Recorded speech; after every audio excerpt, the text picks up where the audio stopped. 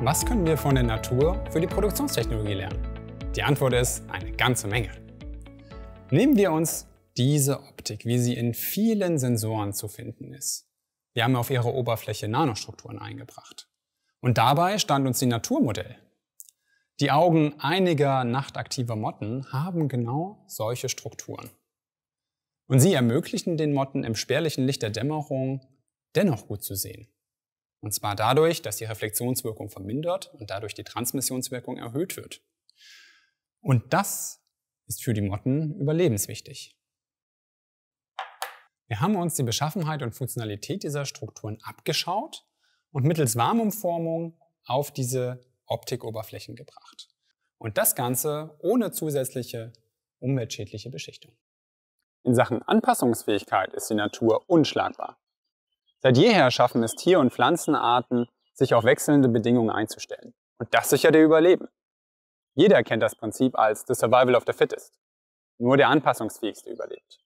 Auch in Industrie und Wirtschaft gilt das Prinzip des Überlebens durch Anpassung.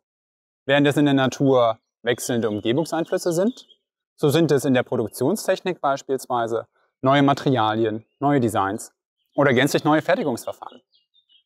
Schon lange setzen wir in der Technik Lösungen und Prinzipien aus der Natur ein. Wir bezeichnen das Ganze als biologische Transformation.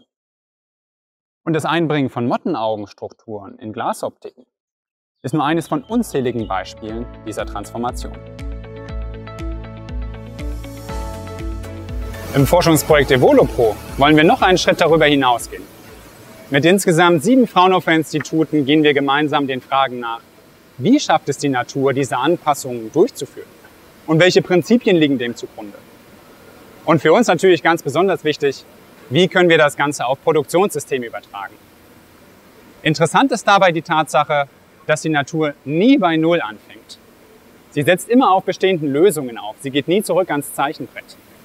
Genau das wollen wir auch für den Produktionskontext übersetzen. Wie können wir mit bestehenden Daten und Informationen unsere Produktion flexibler machen? Nehmen wir beispielsweise diese Blisk, ein sicherheitskritisches Bauteil aus der Luftfahrt, das verschiedene Eigenschaften aufweist.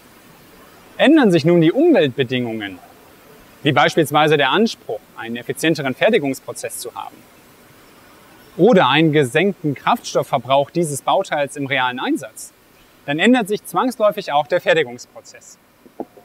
Und das ist immer mit Zeit und Kosten verbunden. Viel effizienter wäre es doch, wir bereits auf das bestehende Wissen zurückgreifen könnten oder in unserem Kontext bestehende Daten. Und genau das ist Ziel des Evolopro-Projektes. Wir möchten nur an den wichtigen Punkten die wichtigsten Änderungen durchführen. Und dann haben wir unseren flexibilisierten Fertigungsprozess. In den nächsten Videos soll es weiter um die Use Cases von Evolopro gehen. Auf die Luftfahrt haben Sie bereits einen Vorgeschmack bekommen. Wir haben aber auch noch die Use Cases Optik und Automotive. Also in diesem Sinne, bleiben Sie gespannt.